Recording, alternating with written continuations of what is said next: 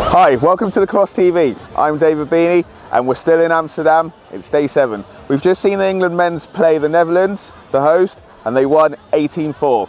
Earlier we saw the women win against Switzerland 23-2. Stay tuned for more news. Hi, I'm Liv Wimpenny and I play midfield attack for England and I'm here at the European Championships. Um, I think I played reasonably well considering we had to play all left-handed. Hi, I'm Alex Bruce, number 34, um, straight attack for England. I didn't really know too much about the Swiss. I know that we played um, in Switzerland last year at the European Club Championships with um, my club Oxton. Um, they weren't that strong there, but um, I was pretty impressed with what I saw today from them. Um, our aims for the game were to stay um, disciplined throughout the field, um, control in attack, um, working through some moves that we've done in training, and um, basically just to remain confident throughout the game. Yeah, the moves we um, planned were pretty successful. We were, we were, able to work through quite a lot of them. Um, obviously, we had to adapt to the way that um, we had to play, but yeah, we, we were successful with them. Um, my personal aims for the game were to um, not necessarily give the first feed, which is something which I tend to do quite a lot, um, to remain composed and um, try and drive and maybe draw the foul um, without taking the shot. Um, I'd have to say that on the England team in attack, the stand-up player was Kat Gawn, without a doubt. yeah, normally a goalkeeper, but I think she did pretty well in attack today. I won't say that it was necessarily easy to score today, but I think that I had a lot to think about with the moves going on, which I wouldn't necessarily do back home. So it's a totally different atmosphere, so I couldn't really compare the two. To be honest, I got a bit of stick um, the first game for actually shooting through somebody. Um, second game, yeah, I shouldn't have really shot that, but um, today I thought it was a bit unlucky. I didn't really think it was a yellow card. Now my club Oxton, um, we have been successful recently, but it's like been a bit of a struggle for us. If you go back about 10 years, we were getting absolutely beaten um, every single game, so it's been like a steady progression for us. Our coach, St Dunn, um, has done an amazing job with us. Um, we've got so many players here. We've got five um, European club players playing for England. We've got one on the Scotland team as well. So we're such a successful club and I'm so proud of what we've been able to achieve. If you like look at um, mine and Sophie Brett's um, assistant goal tallies, yeah, we're, we definitely help each other on the pitch. yeah, we've got a strong connection. We're always looking for each other, but we've got to be able to mix in and use other players as well. So yeah, definitely, I'd always say it's a bonus having your own team on your national team with you. Yeah, first technique on my shooting is obviously don't shoot through people, that's not good. Um, yeah, just look for the net, um, do a quick little fake and shoot low, never shoot high. I'm just, it's my first um, major tournament with England. I'm really looking forward to um, just enjoying it, enjoying every moment of this um, Europeans and just cherishing it.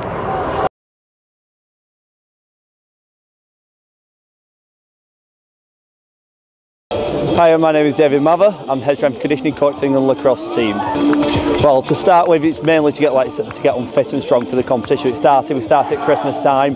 Did all two sessions a week in the gym with them to get them strong and fit.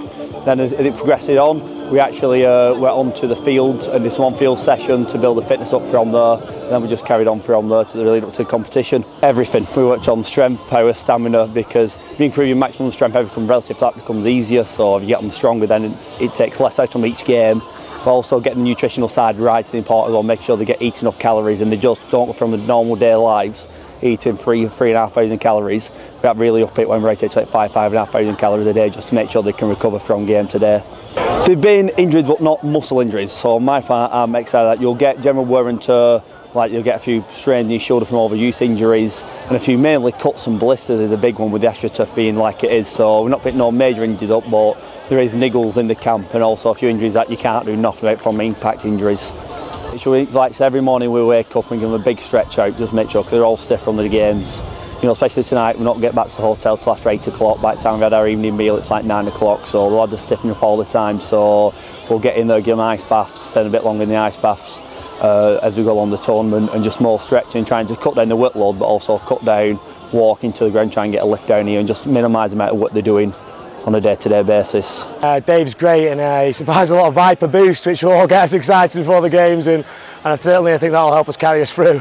And the standard of the NCAA is a bit different to the European Championships, mainly the speed. Um, international lacrosse is a bit slower, there aren't any uh, clearing time limits and uh, and um, box stalling calls. It's, it's a lot more it's a lot more slower. But uh, there are some great players out here, and, and uh, that certainly translates back to the NCAA as well. It's not so much of a challenge to come to the Europeans. It's just uh, a bit different. You have to adjust to certain certain rules, like the get it and keep it in, and um, the clearing time limit. There aren't those clocks, so it's a lot less relaxed and a lot less a lot less on your mind to bring the ball over. You can slow it down. You have a lot more patience. But um, altogether, it's not too hard to translate. It's good. Uh, the midfield worked really well as a unit today. We, we moved the ball. We especially we drew the slide well and, and then banged it and, found the backside, which we've uh, which managed to do throughout the tournament. But especially especially showed tonight well. Get prepared for our quarter-finals before we move on and. Um, hopefully we'll move all the way to the final and get that gold. But I'd love to meet either the, the Scottish or the Welsh just for a bit of a rivalry game. That's always fun. We know a lot of players on those teams, so that'll be a good time. It was a game that came in with a lot of anticipation, a lot of hype, a lot of attraction, just because it's you know the local team, the, the host host nation, and we knew that they were you know going to come out of a uh, they they haven't quite been where they expected to be this tournament, so we knew they were going to come out with a lot of fire, a lot of passion, play a hard fought game, and we knew we had to come out strong from the get go.